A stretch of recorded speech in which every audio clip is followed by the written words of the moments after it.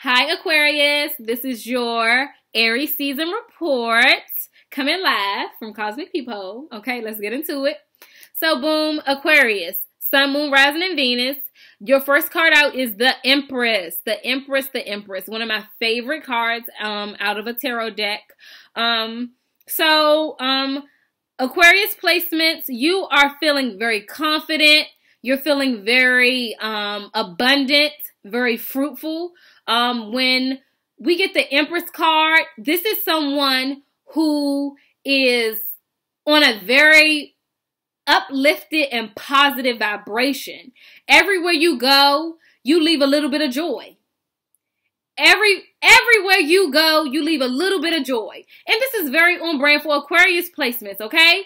Um, you know, you guys are very charming. You have a very um a very what am I a very vibrant per, uh, personality. Okay, people love to be around you. If an Aquarius is in in the room, you will know. Okay, they always you know shake up the room. People want to you know be around them, communicate with them. It's a beautiful energy. So I'm just getting like lots of people want to be in your energy, Aquarius. Okay, and that's a beautiful thing. Um people are people are learning people are learning more from you than they will admit, okay? And let me um baby, my lips is a little chapped. Hold on one second. People are people are learning more from you than they would like to admit. And it's okay. It's okay. you know, it's okay. They're taking notes. You just living your life and your je quoi and I don't know if they even go. Fuck it. We rolling with it. It just felt like it go. You're just living life in your gen and say, what? And baby, they they got their motherfucking they got their motherfucking notepad. Boop boop boop boop boop boop boop boop boop boop. Oh, a qu- boop boop boop boop Okay, like Sinead, all right?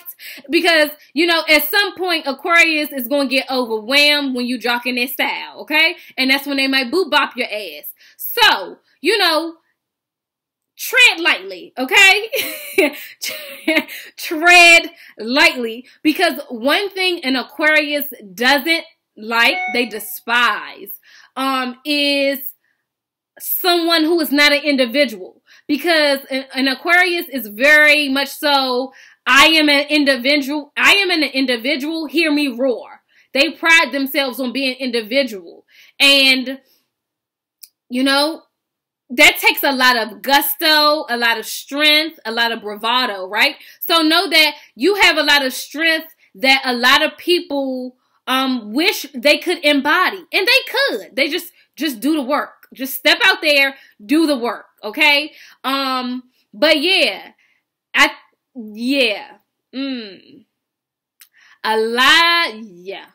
This Aries season, I feel like it's gonna be um shown to you people who would who are really taking notes and they're not and they're not um they're not um they're not uh what am I trying to say? I feel like during this Aries season, or fuck it, maybe during this year, it'll be highlighted to you who's not paying homage. Okay?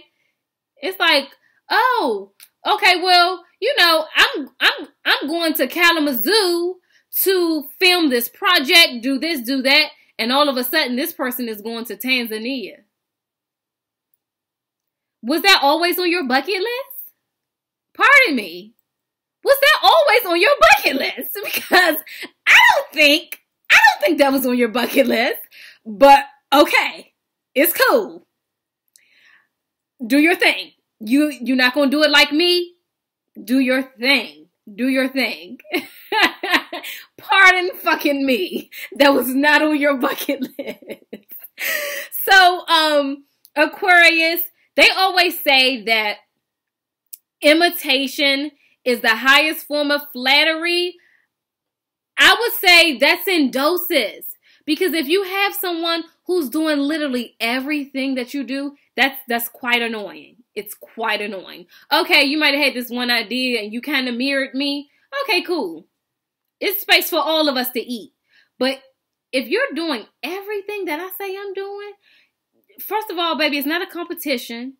And stop. Just stop what you're doing. Stop what you're doing.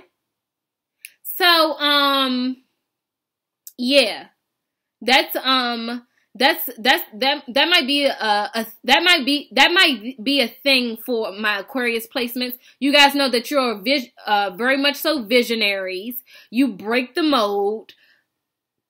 If if somebody is copying you, hold your shit down and do some more groundbreaking shit. Okay, do some more groundbreaking shit. Period. Okay. And so let's get into the daughter of swords. That's your first outside influence.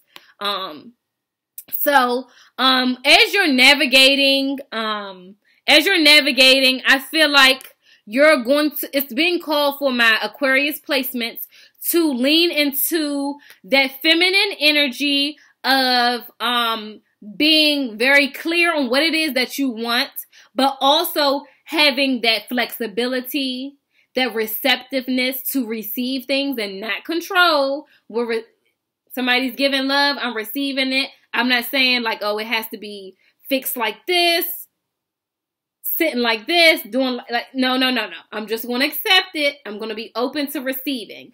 Um, being flexible. Um, also being grounded because we know that Aquarius is an air sign. Being grounded with uh what's going on, okay? Um so it could be also calling for you to develop a new grounding practice. So um maybe walking on grass, hugging a tree. Um whatever, you know, whatever grounding practice that you find works uh, best for you. Um also, what I said to other people, sometimes um, meditation, you might want to part- partner meditation with screaming, okay? Screaming can feel really good. Um, you can even go to an axe, the axe throwing um thing. I know they have that. Um, also, um, there's a uh, what's that thing called? There's a um, there's something where you can go and break things. Okay, so after you do, after you do your little namaste, you might need to go break up some shit at that little exhibit where you can uh, break shit. Okay, because I know that feels very relaxing, very relieving. Because you know sometimes you might Aquarius, you might want to go upside somebody's head. You can go to the little thing where you break stuff. I don't know what it's called, but you know, do your googles. You can go there. Um, and then your second outside influence Aquarius is the Ten of Swords. So you're closing up or recently closed up a cycle. Now, I think I think that cycle, ooh, I think one of those cycles, it could have been several. One of those cycles was playing small. I feel like a lot of my Aquariuses were um, playing small. They weren't putting themselves out there. I feel like you close this cycle out. You are putting yourself out there. Um, you're closing a cycle when it comes to how you um certain boundaries that you have with others, how you communicate to others, right? Because at the end of the day, when we elicit a fiery and, you know, just raw, you know, people will take that as you care. And we don't want people going around here thinking that you care. First of all, Aquarius really don't give a fuck, okay? So we don't we don't want you going around having people thinking that you care more than you do be just because you elicit a fiery response. Find um find a way to communicate with, you know, you know what you're trying to say without giving them all that energy. Because at the end of the day, Aquarius, you got some energy of va- vampires around you and they're sucking off your energy and you wondering why, you know, you need 8 to 10 hours of sleep. These people are draining you. They're going to your profile. They're looking at your picture. They're looking at what whatever you're a part of. People can tap into your energy just by looking at you on social media. So um, it's very imperative for um, anybody that's on social media to do protection work um, around themselves, shield yourself, right? Set intentions for your day because it's energy vampires. And they just they they want they want they just want more and more and more and more more and more and more and more and more and more okay? So um yes that's that. And then the underlying energy or what you're not aware of you are in a place where you are refining yourself you are repolishing yourself you are doing like you're restri- all the re's so like re-strategizing reassessing um you're reassessing what it is that you want to carry into this Aries season, this spring new year. If you have not done it, this can be a time where you do it. Um, determine what it is that you want to carry into this spring new year. And those are the messages for Aquarius. If that message resonated, my information is down below to put some money in my piggy bank. Thank you.